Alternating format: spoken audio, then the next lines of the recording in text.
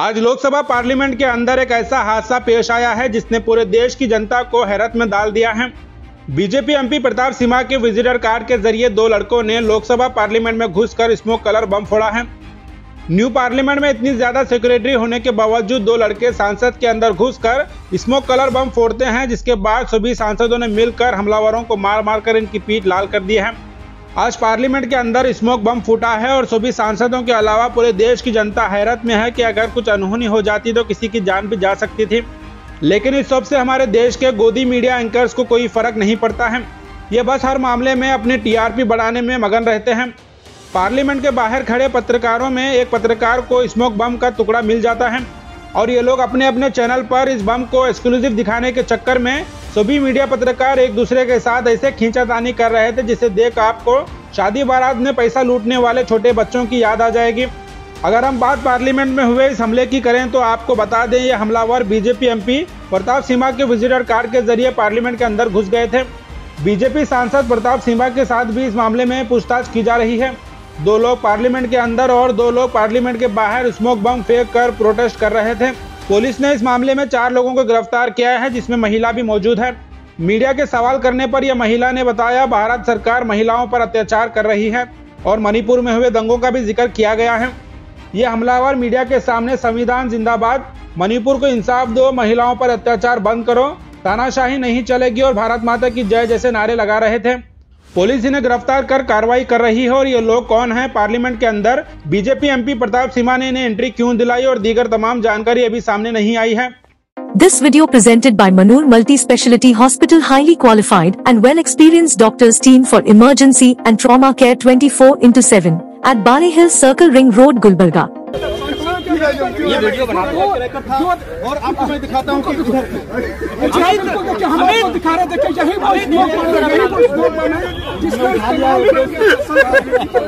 संसद के संसद के भीतर और संसद के बाहर ठीक उस वक्त इसी बम का इस्तेमाल किया गया था। हम आपको दिखाने की कोशिश कर रहे हैं देखें यहाँ संसद संसद भवन परिसर के गेट के पास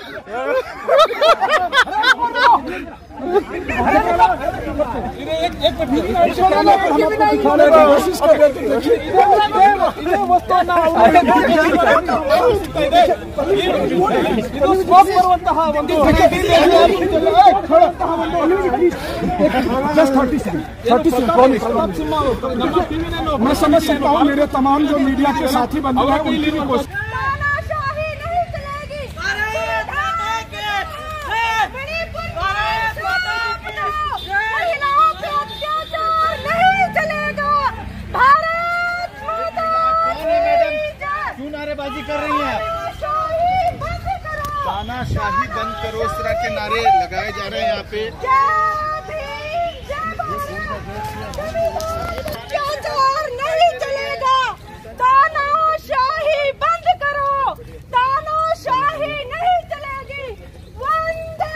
नाम नीलम है और हर बंदा हमारे तो ये हम ये जो पटाखे फोड़े आप लोगों ने नारेबाजी की क्या नाराज़गी है आपकी? हमारी जो हमारी भारत सरकार है जो हम पे ये अत्याचार हो रहे हैं हम अपनी हकों की जो बात करते हैं लाठी चार्ज करके हमको अंदर जा, डाला जाता है टॉर्चर किया जाता है तो हमारे पास कोई माध्यम नहीं कोई डायरेक्ट वजह है कोई वजह है किसी संगठन से आप? नहीं नहीं हम किसी संगठन से नहीं है आम जनता है स्टूडेंट है हम क्योंकि हम बेरोजगार है।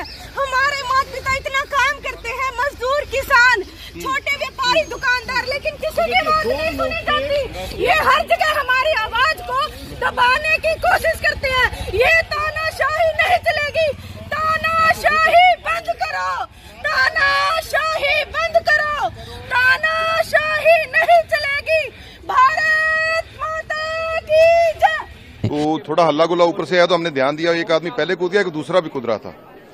तो जो पहले कूद गया वो ऊपर से स्पीकर की तरफ़ बढ़ रहा था और वो हल्ला गुल्ला कर रहा था। वो उसने जूता उतारना शुरू किया।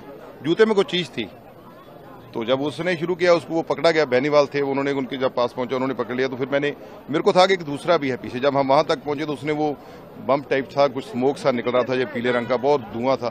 ये बिल्कुल वही लगा है। उसी को मैंने फिर पकड़ के उसको शीन के बाहर बाहर तक फेंकने शुरू किया ताकि वो एक पता नहीं लग रहा था क्या है। तो लेकिन सबकी सुरक्षा का मामला था।